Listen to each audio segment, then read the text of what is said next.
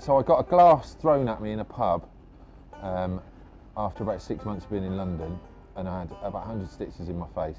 But I didn't mind having an eye patch and a West Country accent in London. It was it was fine. I got loads of attention. I, I basically fell out with the with, uh, with the landlord of the pub uh, that I was living in um, at the time, where, where I'd also got glassed. Um, so it kind of came to a bit of a head, and he said, "Well, you know, come up and have the front cabin on this boat." While it was out in the yard, I kind of walked up and see it, sort of going, sort of said, "Oh, you know, nice boat," and he went, "Yeah, yeah, right." And uh, I sort of asked him how much how much you want for it then, and he, as a joke, he said 200 quid which at the time was everything that I had in the world. I think I had 210 quid, um, so I had enough for a couple of beers after I'd purchased a vessel. It's a really nice exchange, kind of making stuff for people, you know. Um, so it's quite, um, you know, it's nice at the end of the day to have something tangible.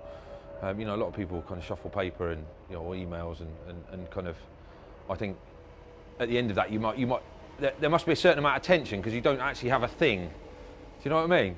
At the end of it, it's kind of you know I know I've done a lot of work, but there's no kind of thing. So so it's quite it's quite good um, to to have a thing.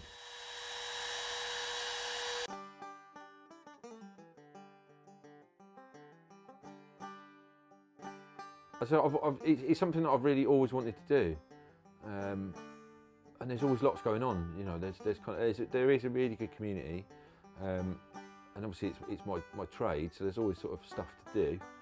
Um, and I do bore really easily, so it's kind of there's always something to do that's different all the time. So it's kind of so it sort of suits me really.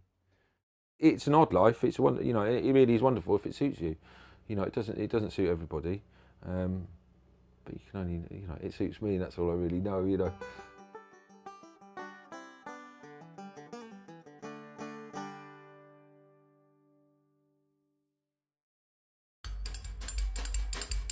Click the videos to watch more Londoners and don't forget to subscribe.